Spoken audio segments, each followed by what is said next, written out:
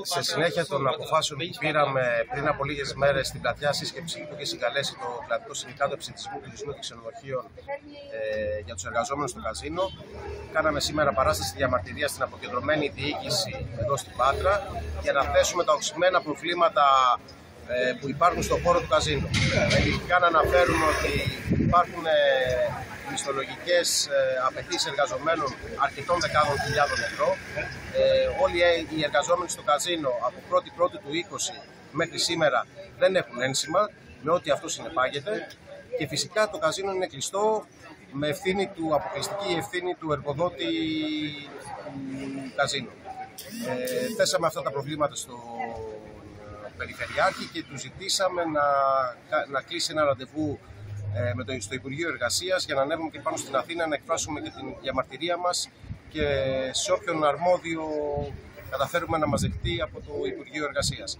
Είναι μια μάχη η οποία θα συνεχιστεί όλο το επόμενο διάστημα μέχρι την πλήρη δικαίωση, μέχρι την καταβολή και το τελευταίο ευρώ που μας κοστάνε, μέχρι την ακολουθεί και το τελευταίο ένσημο που μας κοστάνε. Όλοι είναι όμοιροι άλλοι περισσότερο, άλλοι λιγότερο, θα πολεμήσουμε, θα αγωνιστούμε και όσο μπορέσουμε και είμαστε πιο οργανωμένοι και πιο συγκροτημένοι και προχωράμε πιο αγωνιστικά, πιστεύω ότι τα αποτελέσματα θα είναι ακόμα καλύτερα.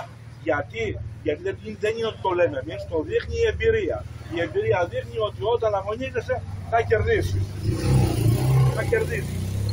Όταν είσαι στον υποταγή και στην ύπνωση, χορεύεις εκεί που σου βάζουν να χορέψεις ο Πιλαδάκης και όλοι αυτοί που παίρνουν τα 3 εκατομμύρια την επιστρεπτέα και χρωστάνε 50, 60, 70 χιλιάδες στου εργαζόμενους, στον καθένα εργαζόμενο και χωρίς ασφάλεια, χωρίς τίποτα.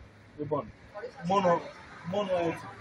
Ναι, μόνο, χωρίς ένσημα. Μόνο έτσι μπορούμε να πάμε μπροστά. Γι' αυτό βρίσκεται εδώ το εργατικό κέντρο και θα βρίσκεται συνέχεια. Έτσι. Γι' αυτό κυνήγησαν τον συνάδελφο τον Βασίλη και έκανα μια εκδικητική απόλυση. Γι' αυτό στους περισσότερους από όσους πολεμα...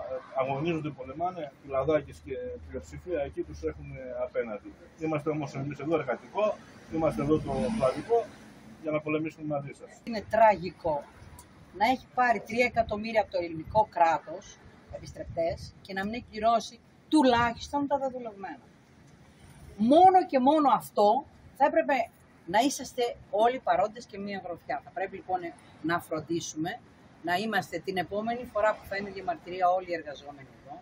Δεν θα καθίσουμε να διαχωρίσουμε ποιοι ήταν εδώ και ποιοι ήταν από εκεί. Οι εργαζόμενοι μπορεί να παρασύρθηκαν από τον μεγάλο ε, συνδικαλιστή, τον Καραγιοργόπουλο, εντάξει, που έχει λύσει τα θέματα των σωματείων και έχει φτάσει να λύσει και τη ΓΕΣΕ. Αυτό είναι ένα άλλο θέμα, θα το δούμε στην πορεία.